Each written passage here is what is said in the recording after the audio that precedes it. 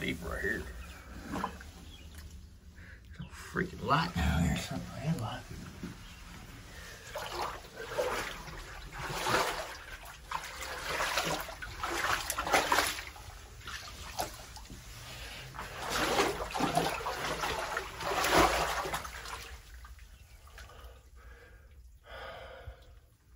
Soft copper.